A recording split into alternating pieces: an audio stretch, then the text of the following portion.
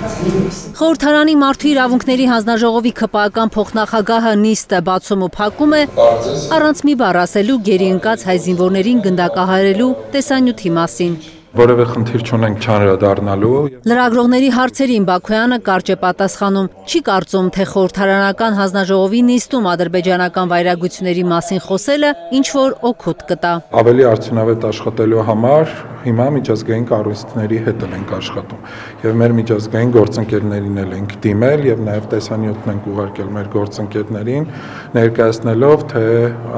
ադրբեջանական վայրագությունները ինչ աստիճանի են հասնում։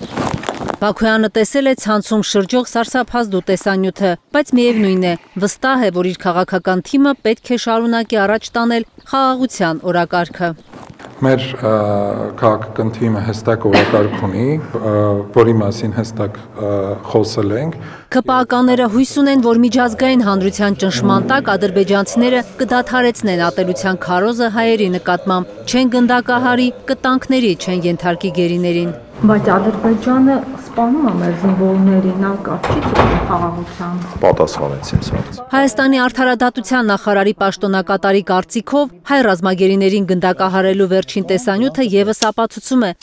որ Ադրբեջանում հայատեատության դեմն առնելու համար անելիք դեռ շատ կա, բայց Ադրբեջանի հետ խաղաղության բանակցություններից դուրս գալը Մինասյանը ճիշտ չի համարում։ Ասել, որ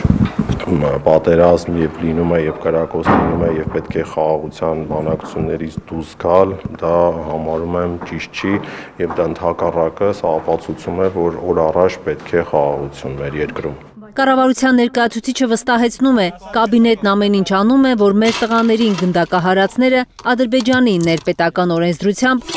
պատասխանատվության ենթարկվեն։ Կարնե Մանգասարյան, Նորա Շարբաթյան, Եվանի Ղանդիլյան, Հայլուր